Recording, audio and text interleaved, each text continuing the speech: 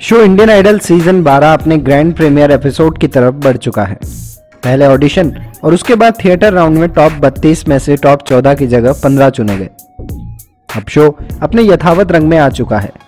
और तो और, शो के पहले एपिसोड की शूटिंग भी पूरी हो चुकी है।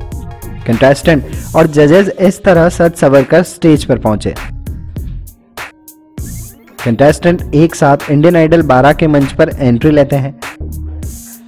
अब शूट के साथ ही सभी की परफॉर्मेंस की झलकी आने लगी है। पहली परफॉर्मेंस की सोनी टीवी ने अपने ऑफिशियल इंस्टाग्राम अकाउंट पर एक ट्रेलर अपडेट किया है, जिसमें सिरीशा की स्टेज पर एंट्री होती है। उनके साथ गाने बजाने वाले कलाकार भी अनुभवी आने वाले हैं। फ्लूट पर थे नवीन जी। सिरीशा ने गीत जिया जले जा जले गाया। बैकग्राउंड म्यूज़िक के साथ इंडियन आइडल के बाकी कंटेस्टेंट थे। सचमुच ग्रैंड प्रीमियर के हिसाब से ये परफॉर्मेंस ज़बरदस्त थी।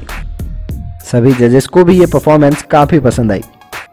इस तरह ऐसी ऐसी कई सुपरहिट परफॉर्मेंस से सजा होगा इंडियन आइडल 12 का ग्रैंड प्रीमियर का मंच। तो क्या आप इस सुपर रॉकिंग एपिसोड के लिए एक्साइटेड हैं? अगर हाँ तो हमें नीचे कमेंट बॉक्स में लिख कर ज़रूर बताएँ। शुक्रिया।